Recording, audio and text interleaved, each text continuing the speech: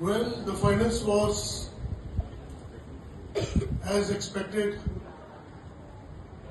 as we were thinking, did not go the way.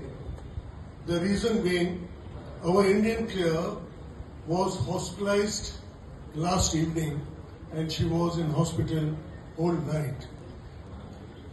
I must congratulate her, Shrivalli, that despite that she is totally unwell, she was on the course this morning and showed a huge sportsman spirit.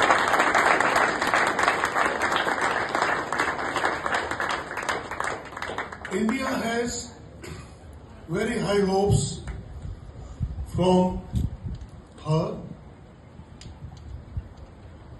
She is going to lead an Indian team to the King Cup, going to be conducted in China in first week of